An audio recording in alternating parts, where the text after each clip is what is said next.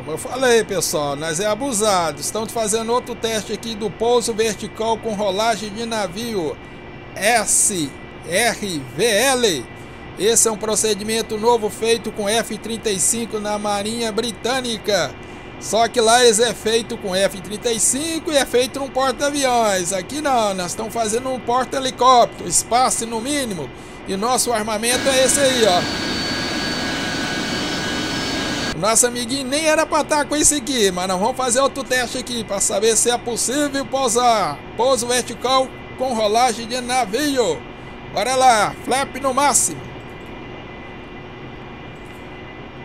Opa, desce, amigão. Calma, calma. Vamos ver se você pausa ali.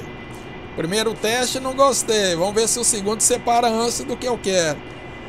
O primeiro tinha menos armamento. Aqui eu coloquei mais combustível. E o armamento praticamente o básico, né? Ó, nós fomos numa missão ali e não usou. Em vez de eu jogar fora, vamos pausar aqui. Crianças, não façam isso em casa. Não é permitido. Bora lá, bora lá. Flap no máximo. Vamos chegar mais próximo, né? Nós desce o trem de pouso. Pouso vertical com rolagem de navio. Feito com Sea Howell FAB. FA8B, né? Tanta letrinha de número. Bora lá, bora lá. Vamos descer o trem de pouso. Landing, gear, landing, gear. Bocal 60%.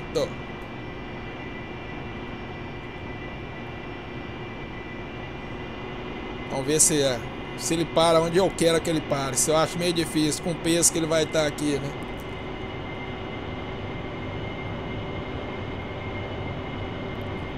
Vai, vai que você consegue. Pouso vertical com rolagem de navio. 60%. 58%, né, pessoal? Trem de pouso já abaçado, flap no máximo. Agora sim, vamos...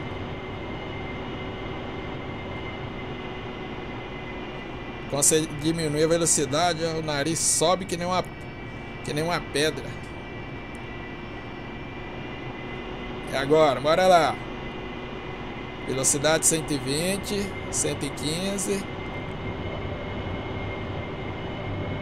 O segredo é estar tá no ângulo. Crianças, não façam isso em casa.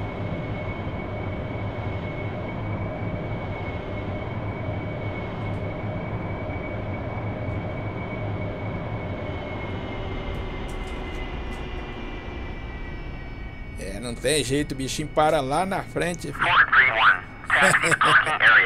Ih, é, parei antes, parei antes.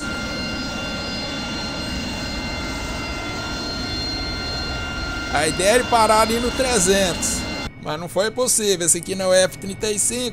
É isso aí, pessoal. Pouso vertical com rolagem de navio S R V L.